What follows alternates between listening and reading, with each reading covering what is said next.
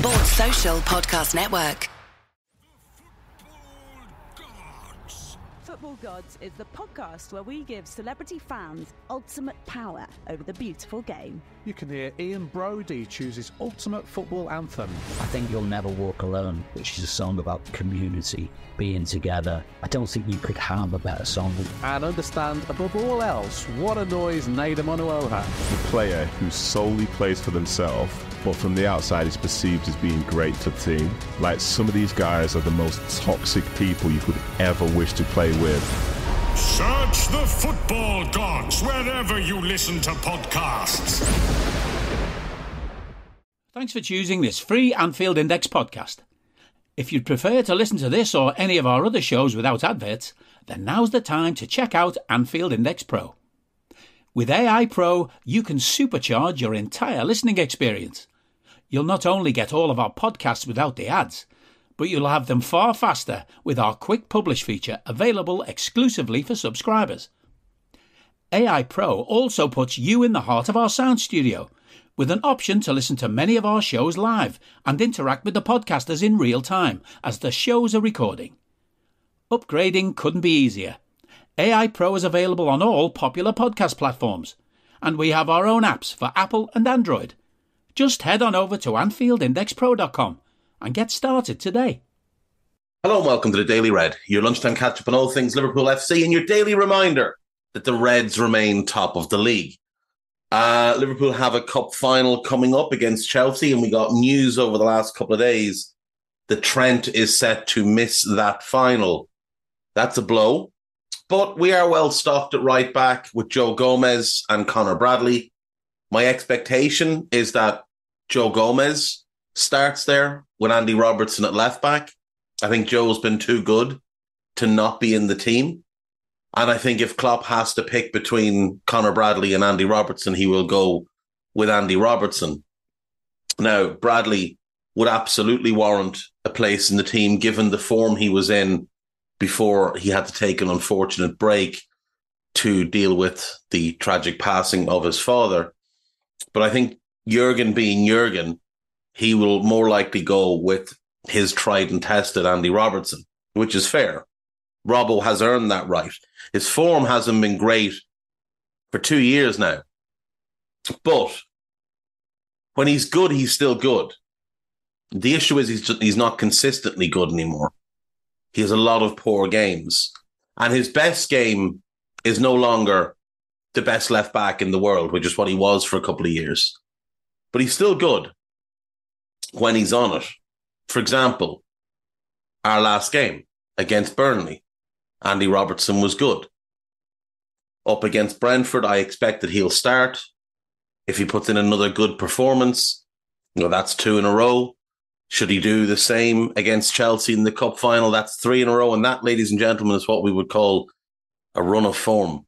Um, Dominic Szoboszlai also potentially missing that final. Now, that to me is a bigger blow than missing Trent because Dominic's pressing and intensity in midfield is vital to us.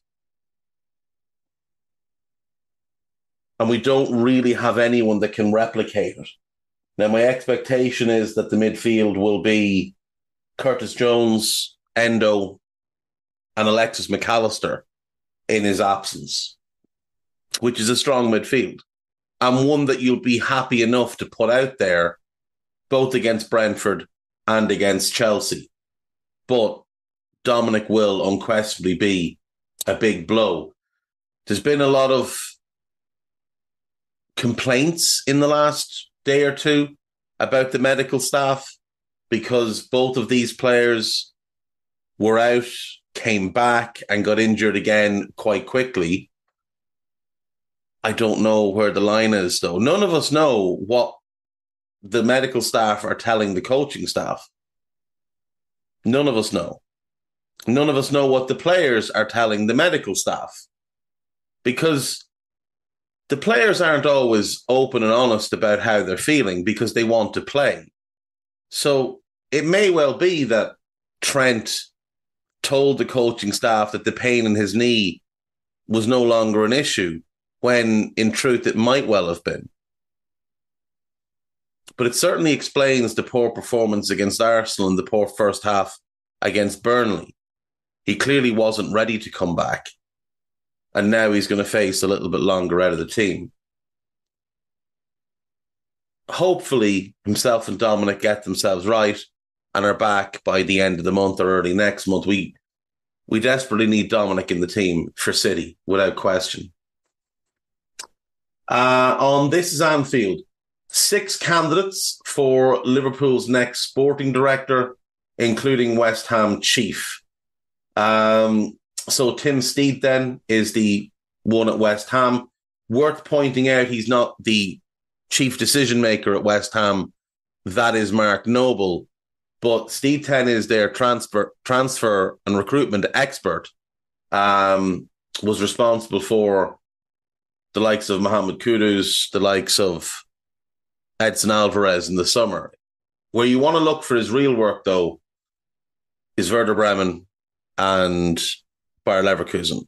And much of the Leverkusen team that you're seeing at the moment was his. Florian Wirtz is probably his biggest success in terms of bought for a small amount and now only a few years later probably a hundred million pound player he was also responsible for bringing Kevin De Bruyne to Werder Bremen on loan way back in the day when he was the head of scouting. Um, Tim Steidten is is absolutely phenomenal as a talent spotter. Uh, another name here is Simon Rolfs. Now, Simon Rolfs is the director of sport. He's got an odd title at Leverkusen. He's not much of a talent spotter. That's not his bag. By his own admittance, he's talked about it in the past. That's not his area of expertise. He's more the steerer of the ship, a big picture kind of guy, quite similar to Dan Ashworth. Quite similar to Dan Ashworth. Um, Paul Mitchell is the next one here. He's a very good talent spotter. He's been with Southampton, with Spurs, with Leipzig, and with Monaco. He would make sense. Now, I've said before, I'd be very much in favor of us going the sporting CEO sporting director model. So you've got the two tiers. Sporting CEO oversees the entire football side of the club, would basically be replacing Mike Gordon, who has made it quite clear he, he wants to leave and move back to America and do other things with his life now. Uh, he tried to leave, you'll remember, before and had to come back because certain people were making a mess of things. Um, Steidten and Mitchell would be much more the sporting director type. Simon Rolfs would be your sporting CEO type. Dan Ashworth would be a sporting CEO. Michael Edwards could do both, but he would want the sporting CEO role. He'd want the bigger, the bigger mandate. He'd want the control, and he's earned it as well. Um, Sports Social Podcast Network. Richard Hughes, currently technical director of Bournemouth, currently working his notice. Uh, he would be a poor appointment. He was really, really poor at Bournemouth for a long, long time. And when the new owners came in, he got shunted to one side and has had no real input in anything since they took over, which is why he resigned and why he's working his notice. Um, so you would pass on him without question. And then you've got Monchi, who is Aston Villa's president of football operations. Monchi, incredible as a sporting director. I'm not as keen on him as in that higher up role. When he was at Sevilla the first time, he was a pure sporting director and he was handling the day to day of all the recruitment and he was phenomenal. He went to Roma in a slightly bigger role that didn't really work. And then he went back to Sevilla, basically running the entire football club. And again, it didn't really work. They did have some success. They did win multiple more Europa leagues, but league position was poor. A lot of poor signings. Monchi had his eye off the ball. He's at Villa now. I think he'll stay at Villa.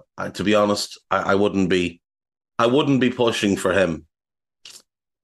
Uh, two more names mentioned here. One is Michael Zorc, who was at Dortmund for 25 years.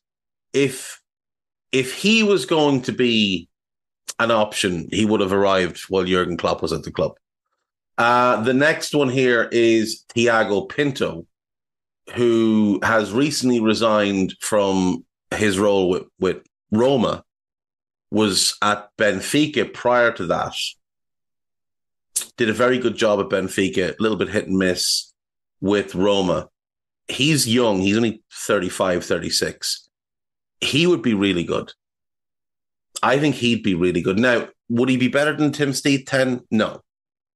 But I would say that of this list, the two that are most likely are Tim Steidten and Tiago Pinto.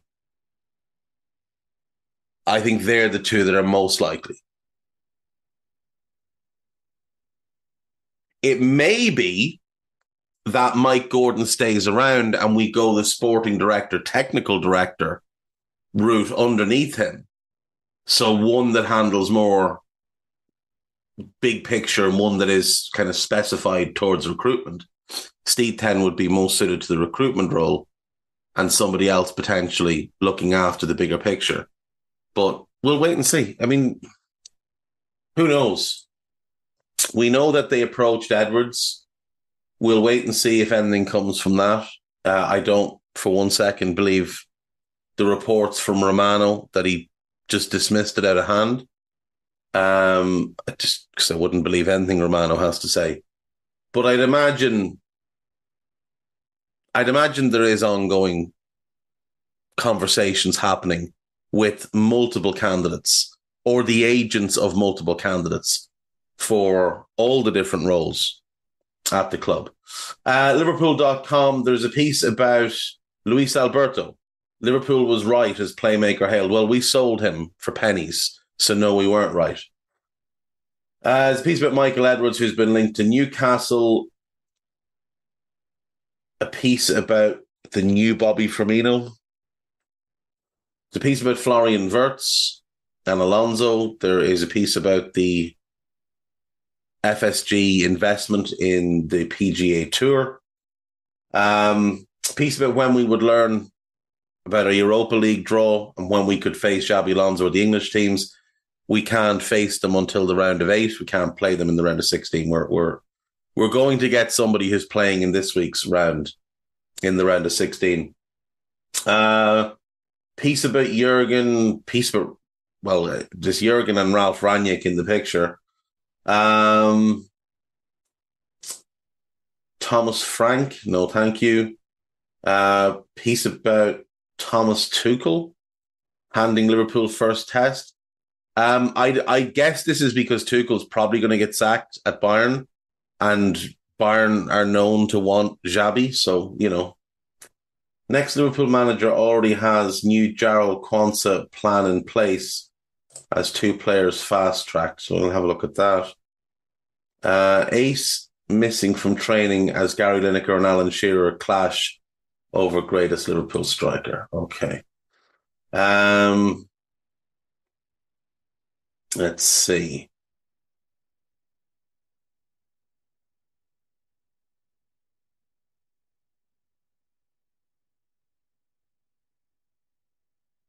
Amara Nallo and Carter Pinnington are the two players here that are apparently being fast tracked.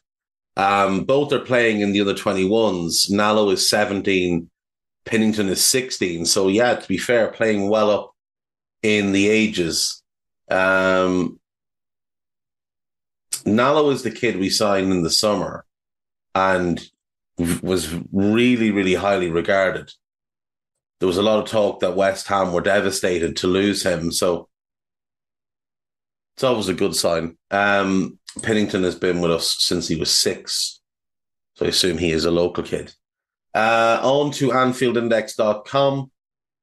Liverpool eye 40 million Dutch forward in. Oh, no, no, no. Donyell Malen. Absolutely not.